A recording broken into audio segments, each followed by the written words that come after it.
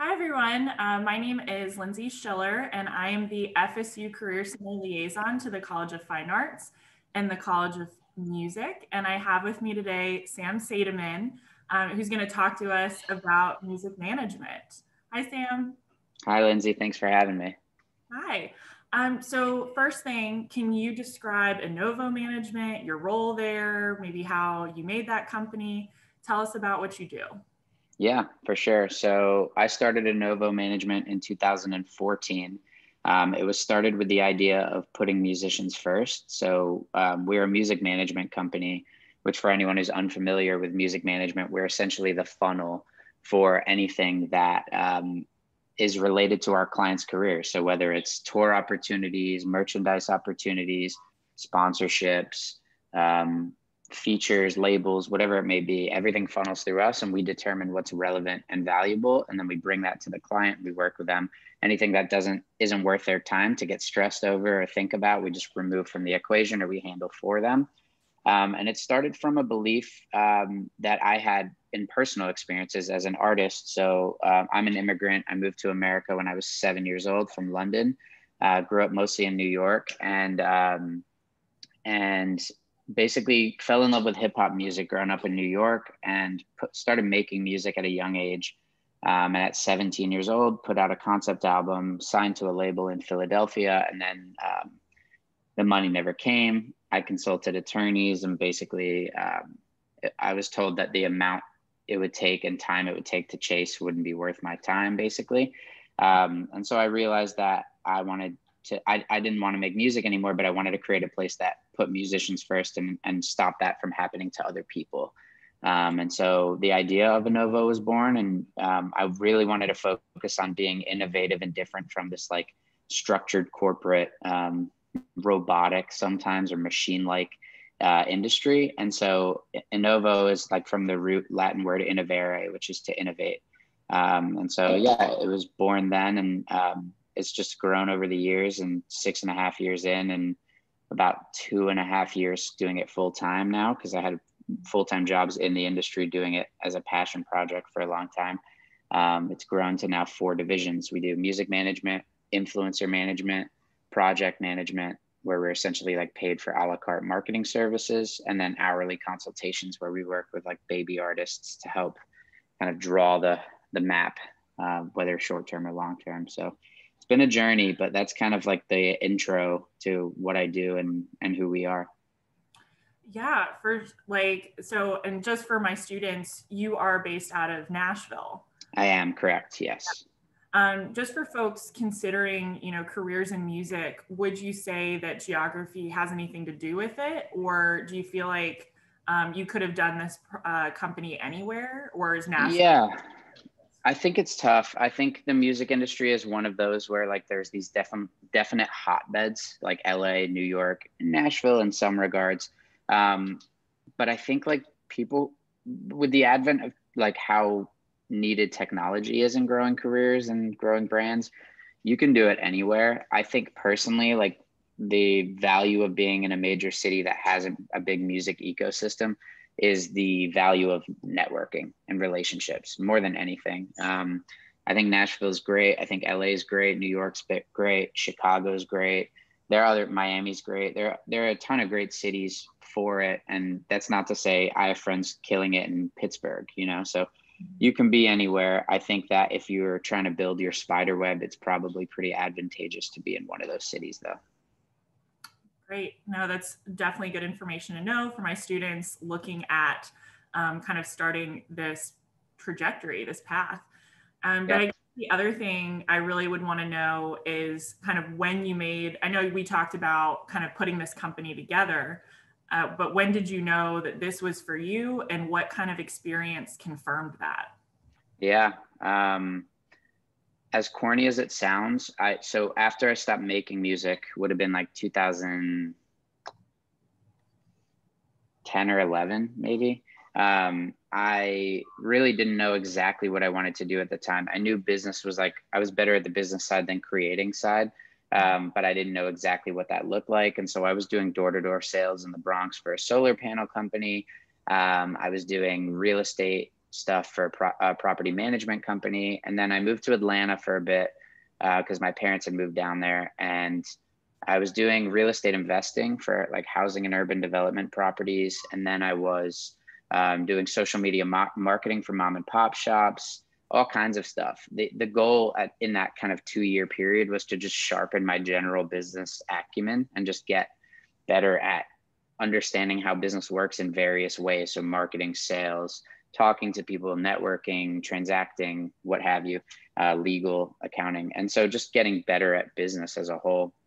And then, as silly as it sounds, I had an aha moment one day where I realized there was a business side to the music industry, which wasn't just built on nepotism. I think like sometimes, you know, the entertainment industry can paint this allure like it's impossible to get into, or you know you see it in movies and it's like oh my dad was a record executive and thus i'm the next record executive um, but there are definitely routes through um, i think it's one of those industries that you you are known by who you are more so than what you do um, of course what you do keeps you there but like reputation is everything in this industry and you see people come out the gates swinging and um, come out a little too hot and sometimes burn bridges too early um, because they're worried about ego and everything else. And, and this industry is filled with that. And so you just have to be careful, uh, work extremely hard, and um, treat people right, um, which I'm sure we'll get into a bit more. So I don't want to expand on that too much. But yeah, I mean, it's a, such a small industry. Every day I reconnect, I connect with someone who I have 50 mutual friends with, and they have stories about someone, and I have similar stories. And we're in the same place three years ago. At, you know, and that happens like weirdly frequently. Um, and so if you're if you do right by people, they'll do right by you. That's really great to know in terms of networking for my students because yeah, I, I would say reputation, ego can get in the way of any field. Um, and it's, it's good to know that treating people right is still highly valued in industries. Oh yeah. Would you say for, you know, students in college now, what did you learn more about kind of business acumen from classes that you took or you know the actual real world experience and don't get too much into classes because we might talk about school later okay okay okay um yeah i have an interesting story um i think for me where i grew up in new york like it was very much like you learn by doing um, and so from what far before college, I understood like that the way I learn is by like getting my hands dirty and like understanding by like piecing things together. And so I was never a great student. Um, full transparency to everyone watching this. I tried college three different times. I went to Lynn University in Boca Raton, Florida. I went to a community college in New York, and then I ended up at Belmont University in Nashville. Um, I tried it three times and I was paying my own way through school and it was really, tr- really hard to juggle that and trying to launch my business and everything else. So um, it didn't, it wasn't the right path for me, but I learned by doing. Um, that's everyone learns differently. I think that um, what college really affords you is the ability to meet people and network um, far before they're in a position where it becomes this like power trip. Um, and so building those spider webs and being willing to be like the quote unquote submissive when you reach out to um, different industry people and, and like wanting to pick their brain and buy them coffee like that that serves you as a student versus when you're out of school uh, you lose that like allure of like i want to learn from you and it just feels more like um, you're just trying to get something from them. So um, i think being a student and and learning from school is great. I just would say like pair that with actually like spending time going out into the real world and like taking people out to coffee and like learning about the network because the people I saw who who focused only on school and not building their network came out and then had like a year or two where they were trying to figure it out versus the people who did school focused on school but also focused on building their network after classes and before classes. Um, those are the people that thrived. Good. Well i mean and you can't make those connections with these exclusive folks unless you know somebody who knows somebody.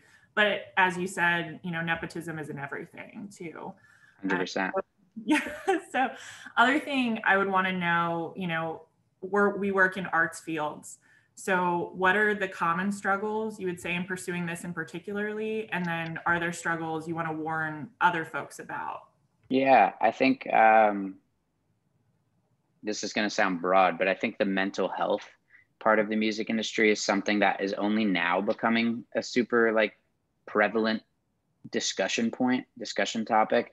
Um, and I think that's partially because of the pandemic um, and people losing their jobs. But I think um, that it's just super, um, it's super important to like constantly be taking uh, internal stock of where you are mentally, physically, whatever else. Um, and also of like people in the industry and friends. Like there's this stigma about mental health and and this industry is so cutthroat and so like it can be judgy and it can be ego driven and it can be clout chasing and you know it, it's the entertainment industry. Not all of it's like that but there are definitely parts like that. And um, you have to know how much to entertain those stuff and how much not and as you grow and build with people. Um, but it can affect your mental health. When I ran the marketing for a digital distributor named ONErpm, which is like a, um, a label services distributor, so like right between like a record label and like a CD baby or TuneCore, where you just put your music and it would send it out to stores. Um, I was working there like eight to six every day, full time, and then I was going straight from there to networking events, concerts, scouting bands drinks with reps at Spotify, whatever it was. Um, and then you get home at two in the morning and you're back at the office at eight in the morning and, and you do that five days a week and it, it burns you out and it starts to affect your mental health and, and your physical health. And um, if you don't learn to like take care of yourself first, this industry will swallow you whole. Um, so, you know, it took me a long time to do that. And I, I say this uh, here because I want students to understand like value yourself as well like especially when you're starting out if you go to like a booking agency or one of these bigger companies you are going to be the bottom fish and your expect their expectations from you are going to be that you put more time in than on paper you're agreeing to um, and you're going to be working around the clock and you're going to have to prove yourself and you're competing against other people for promotion. So ultimately you have to work harder than other people but you also don't want to neglect your mental and physical health. And I, I think that is such an important concept and we go over it a lot in higher education. So you know maybe that doesn't always get to the student side as much. Like you need to take care of yourself and whatever you're doing and i think the the issue from my end that i see a lot and i did this too is i would push myself to burnout because i was so passionate about yeah. the industry but where where do you find that line is like when you know yeah the line has changed a lot for me over the years. Um, you know, I've been in this industry now like almost a decade, and um, it's definitely changed. Like when I first started, I recognized that if I were gonna, if I was gonna get somewhere that was like valuable or leverageable or weaponizable, whatever you want to call it, I had to work harder than everyone. I had to produce more. I had to be more innovative. And so I was doing 100 plus hour work weeks. I was skipping my soccer games or my workouts or you know i wasn't dating or like eating well or what have you and all i was doing was work i'd get to the office at seven in the morning and i wouldn't leave until it was dark outside and you know and then rinse repeat seven days a week um, and you know like i was able to do that then i was young like it's easy to do that at 22 uh, to just like work and like get three hours of sleep and work and do that every day. Um, but as you get a little older, like that starts to affect you more and more. And like, you know, I've got like other things in my life that are equally or more important to me now. And, and, you know, my like, I put on like 40 pounds from starting this company and like, I don't know if I can even talk about this. I like, I started like smoking cigarettes a lot, like a pack a day. And, um, doing all these things that like weren't great for my health, but like were necessary to get through the day in terms of like what I needed to just like move move along. And um, and then like I just I realized like I'm I'm I'm on a train that's not going to like produce long-term success, just short-term, and I'm going to burn out, and it's going to be bad for all my clients, and it's like fiscally irresponsible to my team for me to be living like this. So um, yeah, I just like nowadays I, I, work out seven days a week. I play on a soccer team. I have a long-term girlfriend. I have a puppy. Like, you know, I'm like much more focused on like having a, a work-life balance. And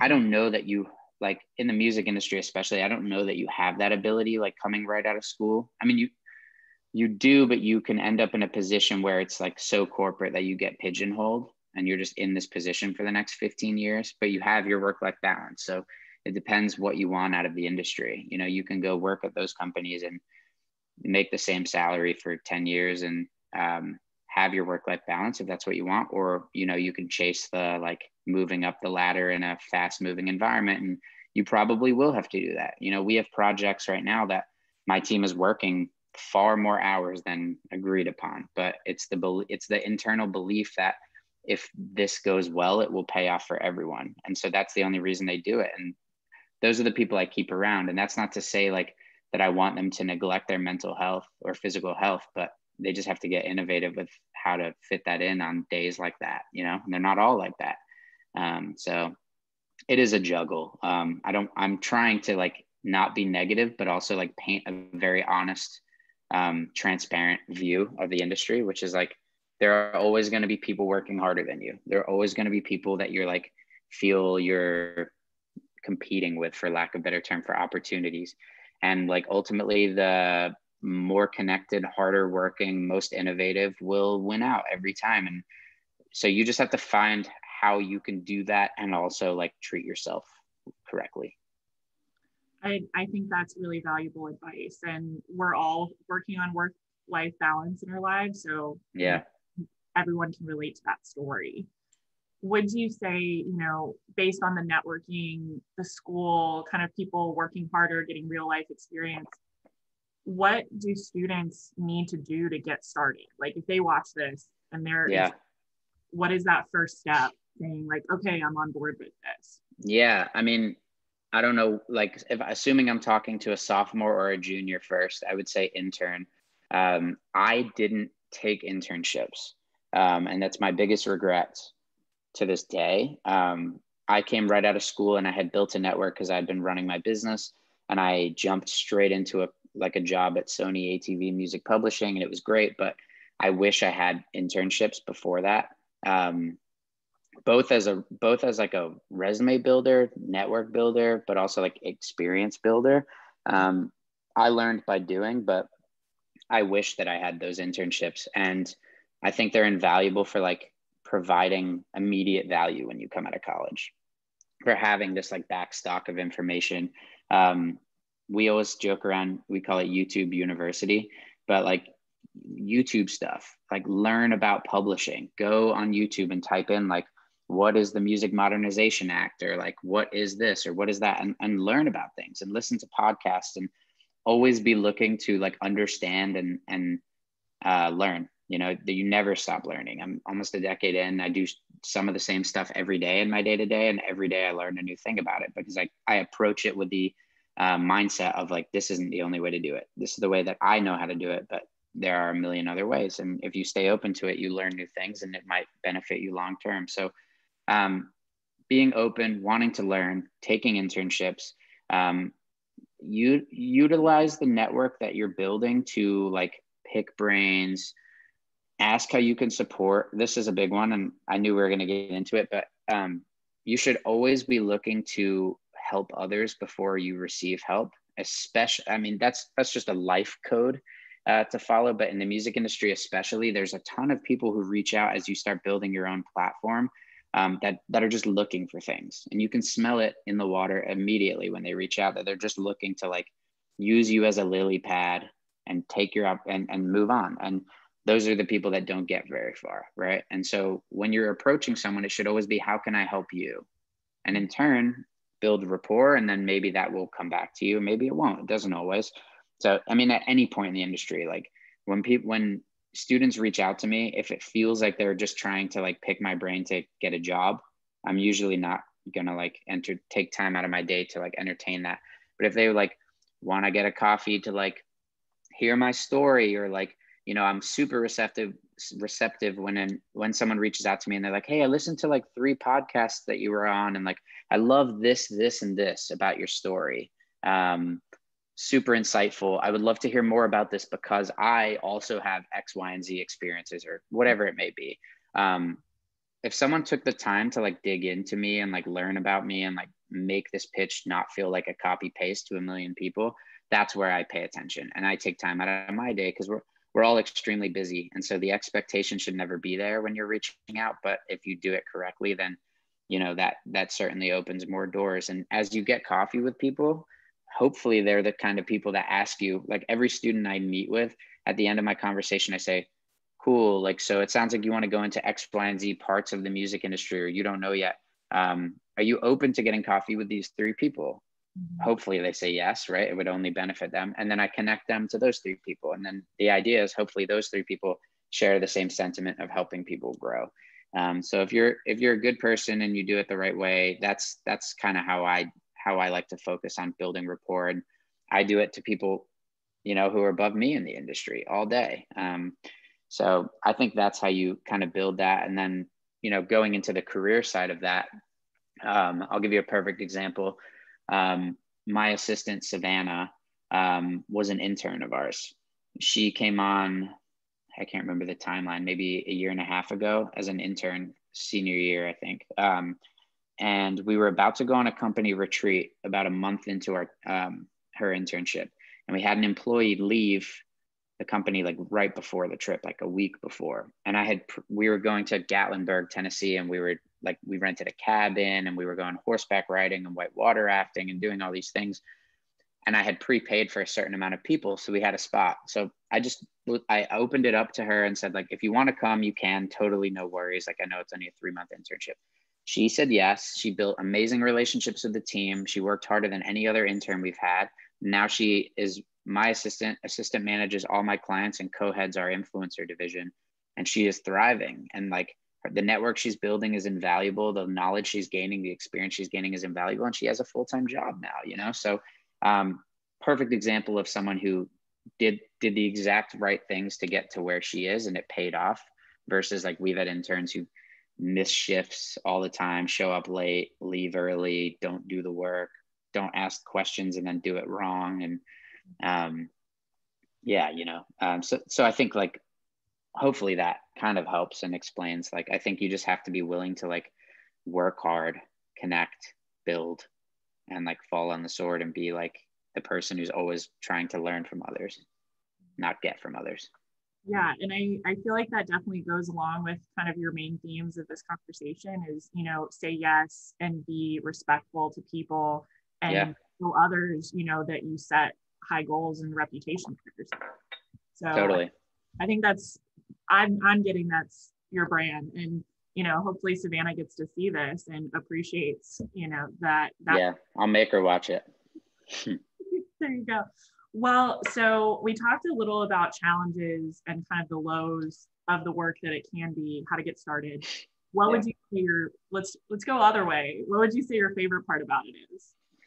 Um, favorite part is is when you experience a major win with a client on the music talking about on the management side which is like more my bread and butter than anything we do um, it can often be a pretty thankless job in that like you're in the you're in the trenches every day and you're just dig, digging muck out all day. And like often that's extremely thankless. And then suddenly something massive happens and that win where like your client is super grateful and it's like all centered around them but like you are the catalyst to that happening. Um, and whether you get that like you get that recognition or not you like everyone knows it's coming where it's coming from as a team effort. And um, but just you shouldn't be moving into management if you're expecting that public recognition. Sometimes it happens. Most of the time you're the guy behind the curtains you know moving the needle so to speak.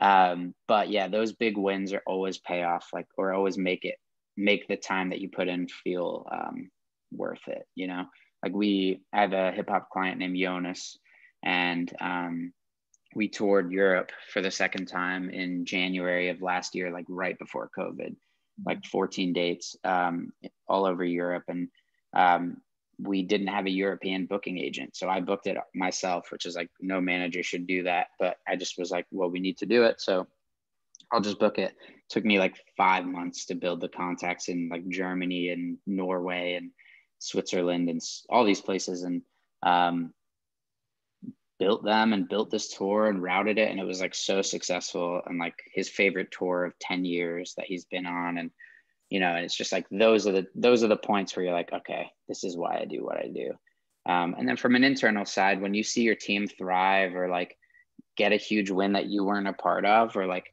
try something new and succeed at it as an entrepreneur, like that is so rewarding. Um, more than personal successes or personal wins. I'm so I'm a proponent of like team wins more so than personal wins. So of course the personal wins we can get into that if you if you want, but I always try to like highlight every everything and everyone else before myself if, if I can. No, I mean this is this is your chat. And so my last question was gonna be like what are what are your final thoughts, your advice? So yeah. This is this is your soapbox, this is your platform. It's my thesis. Yeah. Um roll your sleeves up. No work is too low for you, too too easy for you. Um, no time of the day is not a time to work. If like speaking in the music business, like value your your time and your energy and your mental health and physical health, but like don't neglect the fact that like you are starting from the beginning point. And there are hundreds of people in every city that are looking for the same jobs as you.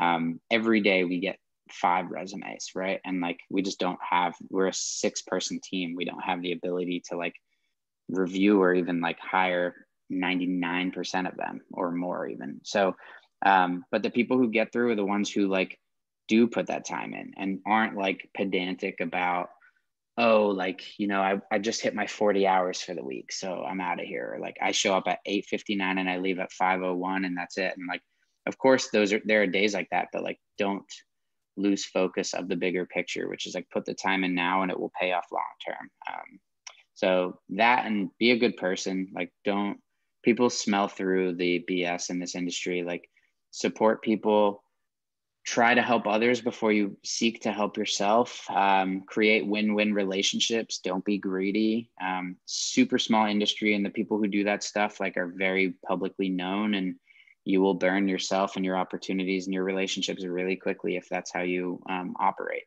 Um, so yeah, I, I, think that's pretty much it. Um, the music industry is, is, an interesting place and there's so many ways that you can go down it. And often I talk to people and they're like, oh, well, I like, I want to be A and R. And I'm like, okay, what does that mean though? There's, there's like a million A and R opportunities. Like A and R traditionally is like record label where you're like looking to sign talent, but like there's A&R for publishers. There's like management scouts. There's all A&R at uh, booking agencies. There's all kinds of stuff like that. So, um, yeah, do your research, look into people, look into companies, uh, be a good person and, and work hard.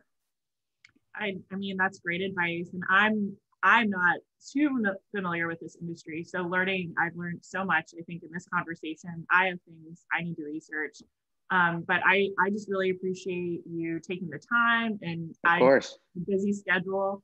Um, no worries. And, you know, for my students, Sam just let me know maybe this will inspire hope that he's yeah. going to be at a live performance today. Yes, tonight.